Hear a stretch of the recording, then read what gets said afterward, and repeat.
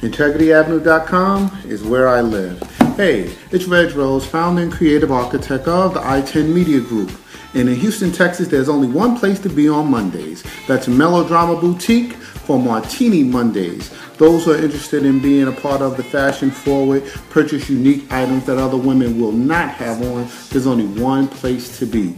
This establishment is owned and operated by Jackie Adams, who's a part of the fashion industry, and she has an amazing boutique in the third ward on Alameda.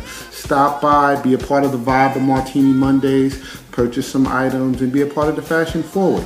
Once again, Melodrama Boutique, Martini Mondays. This is Regg Rhodes of I-10 Media, and this is another I-10 Media video endeavor.